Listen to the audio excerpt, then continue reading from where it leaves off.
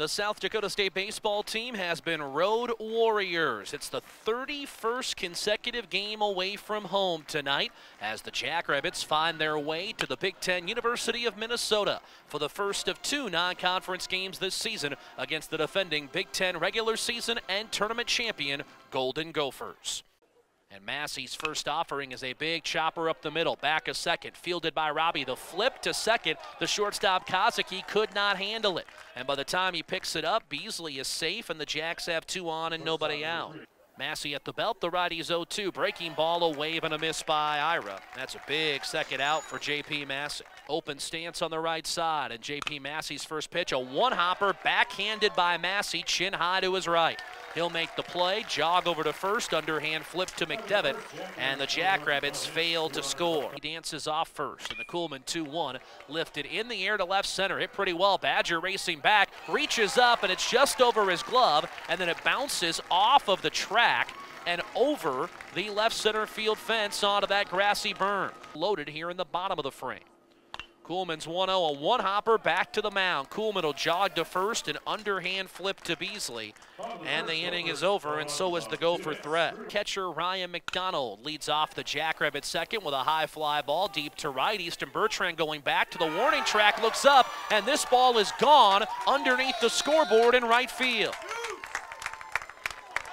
A solo home run for the catcher, Ryan McDonald, and the freshman from Prior Lake, Minnesota has his third long ball of the year. Badger not going. The payoff pitch, strike three called, outside edge, belt high. Kuhlman winds in the 1 2.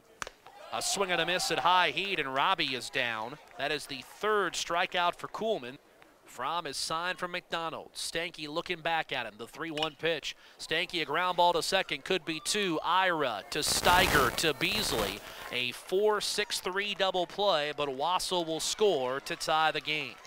1-1 game, top of five. The 1-0 from the lefty Foshing. That's a liner into right center field. Mezzenga on the run, diving, and makes a spectacular catch to Rob Holtz of what would have been a two-run hit. Stover is signed for McDonald. A look at Kozicky and the 1-1 pitch. That's a line drive over Steiger's head and into left center field for a hit. Kozicky around third. Smith's throw is cut off, and Cole McDevitt's third hit of the night gives the Gophers their first lead at 2-1.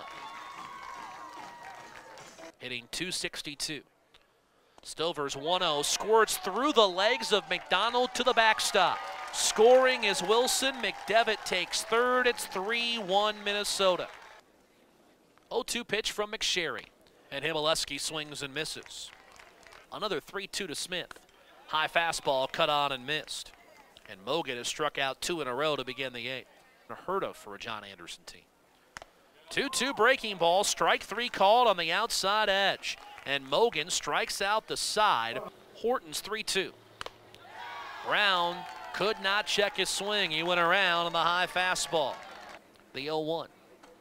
Smith, a two-hop ground ball to short. Easy bounce for Kozicky. He'll throw to first, and that'll take care of things. Minnesota, four pitchers combine on a two-hitter to defeat South Dakota State 5-1 on a beautiful Tuesday night in Minneapolis.